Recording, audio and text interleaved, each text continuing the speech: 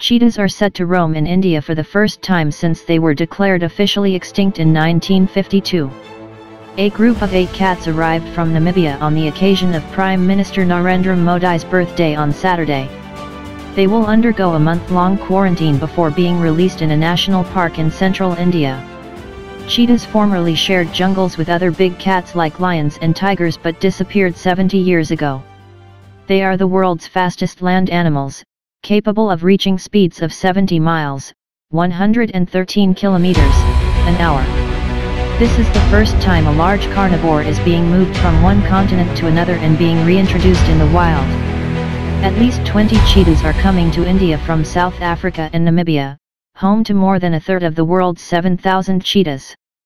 The first batch of eight, five females and three males, aged between 2 and 6 years, arrived from Windhoek in Namibia to the Indian city of Gwalior on Saturday. Inside India's plan to bring back extinct cheetahs. Wildlife experts, veterinary doctors, and three biologists accompanied the animals as they made the transcontinental journey in a modified passenger Boeing 747 plane.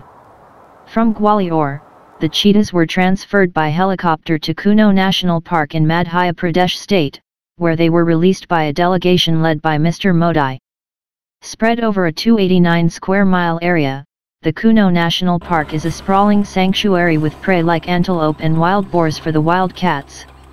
An electrified enclosure, with 10 compartments ranging in size, has been built for the animals to quarantine before being released in the wild. Each cheetah will be given a dedicated team of volunteers, which will monitor it and keep tabs on the animal's movement. Satellite radio collars have been put on each cheetah for their geolocation updates. Experts say that a combination of hunting, habitat loss, and food scarcity had led to the cheetah's disappearance in India. Studies show that at least 200 cheetahs were killed in India, largely by sheep and goat herders, during the colonial period.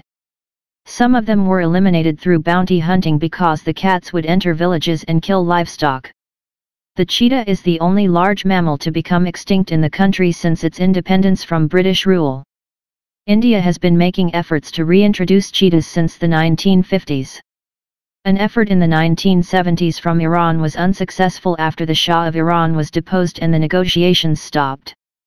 Proponents of the project say that the reintroduction of cheetahs will build up local economies and help restore ecosystems that support the big cats but some worry that relocation of animals is always fraught with risks and releasing the cheetahs into a park might put them in harm's way.